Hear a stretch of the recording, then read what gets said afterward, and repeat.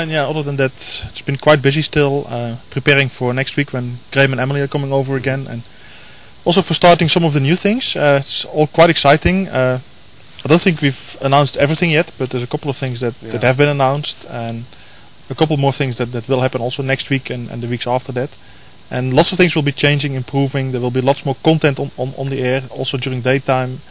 Um, so yeah, and actually I'm quite excited to also get my own show or program. Yeah, Uh, actually, I'd like to call it a program. Show seems a bit like fake and, and, and, and stage, and, and I want to get be want it to be natural. Like want to be a feature in a way, yeah, Yeah. yeah, to, to be loose and also um, it's it's going to be called uh, We Learn, Mm-hmm. and the idea behind it is that we focus on on the smaller things, things that often if you're on a game drive you can't really see because if, if you look at a bird, by the time you get your camera on it, it's, it's typically Yeah. gone already, or there's even just too small to see, like like, like lizards Yeah. or reptiles or other No, you can see it briefly, but it's just to sort of see that it's there rather than being able to look at it and, and appreciate it yeah, in it, it moves off too fast, and it's Yeah. difficult to put the camera on and have the viewers share it. That, that's the that's the main thing I think.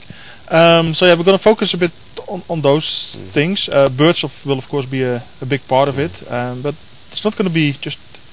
Uh, So it can be a birding program. Yeah. no, not not just a birding program. It's going to be all kind of things, and how it's going to develop is actually still open. Of course, we've got some ideas and some rough outlines, but one of the nice things also is we want to develop it in line with with the viewers, getting feedback from the viewers, seeing what they like, and together grow into a certain Yeah. format of, of of doing things. And that's actually going to be quite exciting. Uh, I've done presentations before, but always to let's say to a live audience like we have here. That's maybe not the right word, but an audience I could clearly see and look Yeah. in eye and interact with. So this is going to be quite new. Uh, there's going to be lots of people there on the other side, but I know they're there, but I'm not going to see them directly. So that's going to take some adjusting and, and, yeah. and getting used to it. I, look forward to that. It's a nice challenge, but yeah, it's it's, it's going to be different. In a way, it's you're talking to one eye rather than Mm. a whole room of eyes. And, Yeah. yeah, but And also to people to that, that to some extent or another know you. You know, already Mm. you've been here a while, and and uh, and we're not going to go into the whole thing of it, but it's it, it's I'm certainly, and I've said so before, interested to see what comes out of it, just from from a learning point of view. Just I've I've seen the way you approach things, and I'm sure all of you have noticed also just on the drive the different inserts and. Uh, some of the words that are popping up, and, and Pete's really been doing a lot of things uh, on a lot of different levels, running around, and, and it's been a pleasure from that point of view. But um, so I'm, I'm looking forward to seeing what you're doing with that as well, because you're mixing in a whole lot of nice aspects into it. And of course, still running live, so there's still the possibility of the bird you're talking about landing at the water while you're doing it. yeah, so, that would be something. so uh, yeah, I mean, there's a grey lory today, and you know, suddenly, um, Yeah. and it's it's nice what, what that'll create as well in, in Mm. camp even. You know, we'll start talking a bit more about whatever things you're looking at and so on. So it's just any awareness that makes you look around more and pay more attention uh, and enjoy more is, is a cool thing. So, Yeah.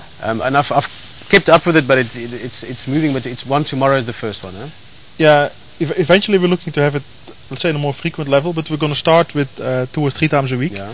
Also because we need to get into it and, and, and find a format and there's there's quite a lot of research involved as Yeah, well no, in, in it preparing for it. busy, yeah. Mm. at some point they'll also go faster and, and other things.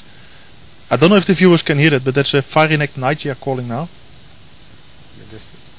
Uh, it's probably too soft. Uh, yeah.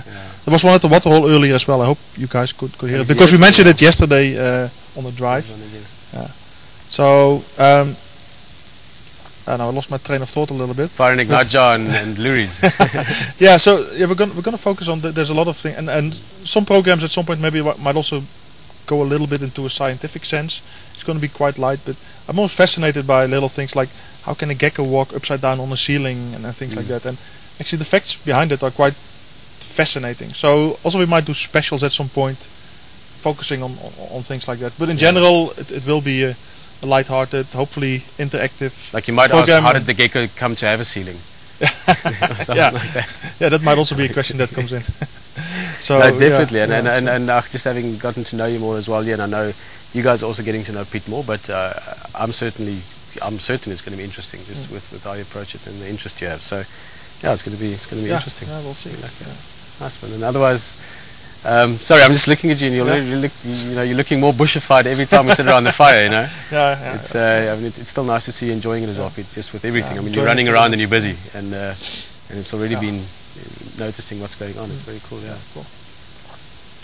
Ah, so tomorrow's Tomorrow's uh, the first Luries and Um, tomorrow, it's more. It's, it's not specifically about a bird, um, but it's going to be more about how to identify a bird. There's a couple of things that you can I don't want to go into too much because then. I don't have to do the show. But it's it's, it's how, you look at a bird and, and how you can learn to identify it, even if you don't can see the whole bird and all its Mm. colors and other things for, for four or five minutes. Because that's typically you don't have that luxury. You see a Mm. bird and psst, it goes off. But but with time and experience, you you know you, you get to know what to look for and, and get some knowledge, and then you you can already maybe not to species level, but you Mm. can at least find out what kind of bird it is. And so I'm going to speak a little bit about that, and then I'm going to use a couple of birds as example of, of how you can recognize certain features of of birds. Um, tomorrow the bird I'm going to use as examples are bateleur, which is a big bird of prey, uh, the grey lory or go-away bird. Uh, Rexon spoke a bit about that one in the in the drive already today. Uh, lilac-breasted roller, and the fourth one is You do say that quite nicely, eh? The? Lilac-breasted roller. Just with your Yeah. sorry, I'm, I'm not taking I'm not I'm Okay. not taking a dig. I'm just saying with your accent, it sounds awesome. Oh, okay, cool. And uh, the Cape turtle dove.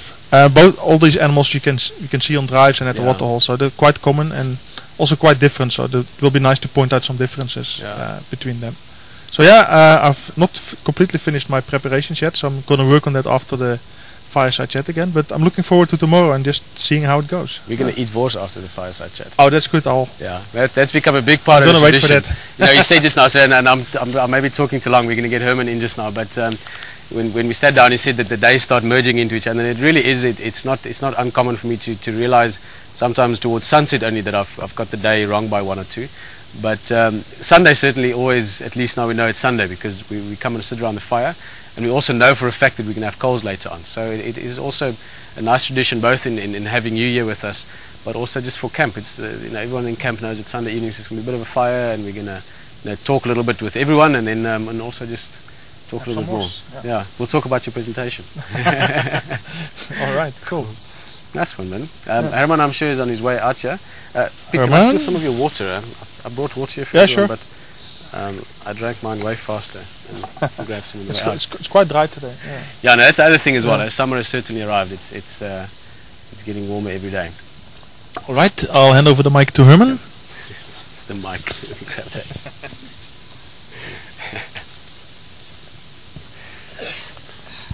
How's it, Peter?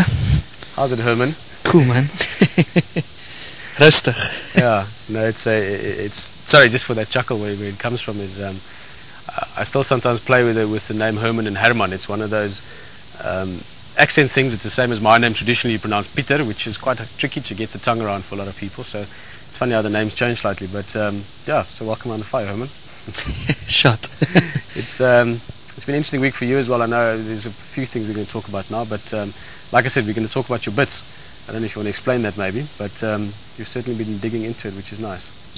I must maybe start off just by explaining what bits means. Yeah. it's basically, uh, this is how Graham explained it to me. It's uh, the B and the T and the H, uh, S is for behind the scenes, and the small I, that's not a capital, the B and the T and the S is capitals, but the small I isn't. Uh, I think that's for internet. I don't exactly know what Yeah, the small I is work, which is what it's doing. But um, I mean, you've been excited about the, the process of it and, and the storytelling, and, and um, it's been interesting just to see you sort of get to know and, and, and feel your way around it as well. I mean, like Marco, I don't know Marco, I hope you're still watching with us. Um, you know, Marco started that to a large extent, and, and you saw Marco in his in your early days here. But it's nice to see the different progression as well with, with different individuals. So, tell us a bit about it. Why did you do what you did this week? Yeah, well, I'll get to that just now uh, about the subject I had this week. But uh, just the whole whole thing of uh, trying to, to make it your own, making trying to to, to show things through your eyes is a is a very interesting process. Because I'm uh, immediately what happens is I'm involved with a lot of things that happen in camp, try and film that, and then uh, try and get something from that and try and make a story out of it. So that's uh, very interesting. So it, it, it forces me to be to be uh, busy with, with a lot of things uh, that happens in camp. This week's uh, bits is about Peter's Pond, uh, which is a, a very interesting inter- interesting place to start off with. Uh, it's uh, very close to camp, and it's a small little pond. Peter can maybe well ex- actually explain it quite well on the bits, so you yeah, can. I'm not going to explain too much now. I, I must say I've, I've chuckled about the name a few times. Rexon actually started using the name. And I know there's a peach pond as well in Botswana. Actually, we got a, a handwritten note the other day from, from someone there that got passed along with a guest that was traveling this way, which was awesome. Um, but yeah,